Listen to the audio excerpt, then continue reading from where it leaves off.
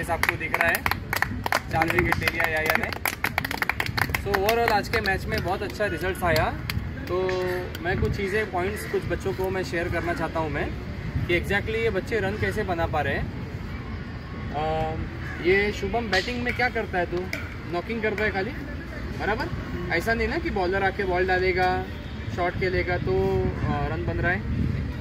हम लोग actually nets में कोई बॉलर बॉलर बॉलर बैट्समैन को बॉल डालता ही नहीं है। सर्विंग करने के लिए दो लोग रहते हैं अंडर आर्म और ओवर आर्म थ्रो डाउन करते हैं हम लोग। उस पर लड़कों को हम लोग 300, 400, 500, हज़ार बॉल जैसा टाइम है तो 2000 बॉल ये लोग कनेक्ट करते हैं। इनका भी यही रूटीन है। सारे शॉट्स की प्रैक्टिस करवाता हूँ मैं। 200 डिफेंस हो गया 300 ड्राइव हो गया 100 कट हो गया 100 पुल हो गया 100 पावर हिटिंग हो गया। उसका ही प्रैक्टिस करते करते इन लोगों के बैटिंग में ये चेंजेस आ रहे हैं। ये बच्चा अभी ये बीच में इंजोर्ड था।